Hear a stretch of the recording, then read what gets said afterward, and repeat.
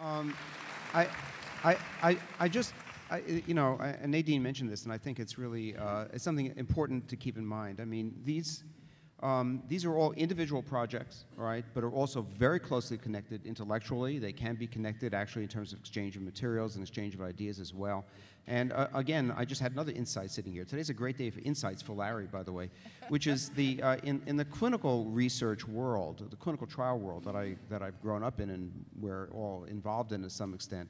The, the idea of collaborating and cooperating among ourselves and physicians, you know, working on, uh, on, on problems uh, and, and having the freedom to move off in different directions is sort of part of really what our culture is like. It hasn't been the culture of basic science, which is really coming from a totally different route.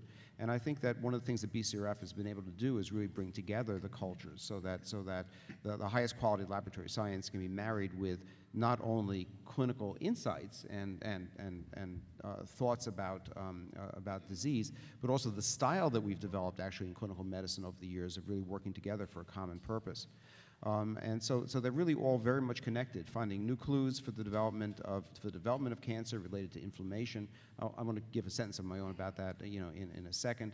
Uh, why you get different kinds of cancers with different amounts of estrogen. Uh, last night I was with people, we were talking about the role of estrogen in breast cancer causation, but some are dependent on breast cancer, some, some tumors are dependent on estrogen, some are not. Why? What is the, the background of the genes that, that leads to that? How we can take cancer cells out and study them in the laboratory and really investigate them uh, well. So not just getting a small percentage of, of tumors actually growing in the lab, but, but almost all cancers, so we can really analyze that, and how we can use that to plan uh, appropriate uh, pharmacological therapy very, very, very specifically, are all interconnected topics. This thing about inflammation in cancer, which you heard about, really elegant work that Cliff is involved in, um, is something we've talked about here, in, you know, in, in, the past. And over the last few years, um, uh, I've been involved in work that has uh, shown that uh, we know that cancer cells can travel around the body, and go to other parts of the body and grow, and that's what really gives cancer its bad name, its ability to grow in places like liver and bone and lung and places where it can cause trouble. But it's been discovered that the cells can actually come back to the tumor itself and can enrich that tumor um, and make the tumor grow and the thing that mostly attracts the cell back to the tumor are chemicals that are related to the inflammatory process.